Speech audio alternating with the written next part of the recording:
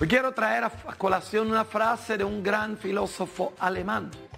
Y aunque este hombre es un filósofo ateo, como lo han caracterizado los estudiosos, eh, Federico Nietzsche dice cosas muy interesantes.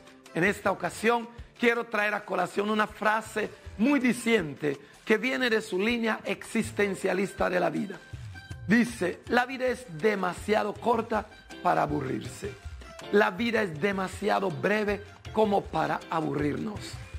Hey, la vida de verdad es breve. Mucho, mucho viviremos 85 años.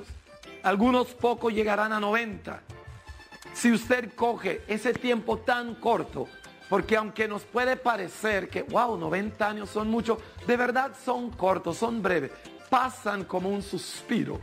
Luego la actitud que debemos tener ante la vida debe ser una actitud positiva, optimista, alegre. Sí, tenemos problemas. ¿Quién no los tiene? Pero qué bueno que tú tengas problemas y no que los problemas te tienen a ti.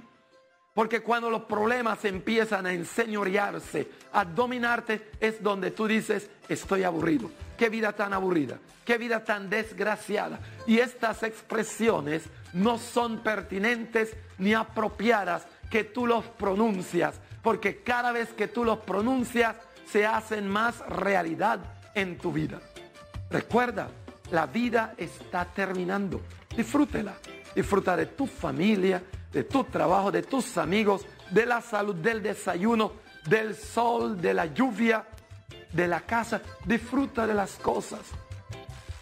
Y ahí vas a entender que si bien tienes problemas, Tú tienes control, señorío y dominio sobre el problema. No permita que los problemas te roban energía, te descargan ganas, te quita la emoción y la dinámica de la vida. Al contrario, enfrente los problemas con toda la fuerza, la potencia y el dinamismo que tú tienes ante la vida. La vida es muy breve para que nos aburramos. No se aburre no se aburre, anímese, encuentra un motivo para reírse y enfrente lo que venga con la dinámica de esa actitud.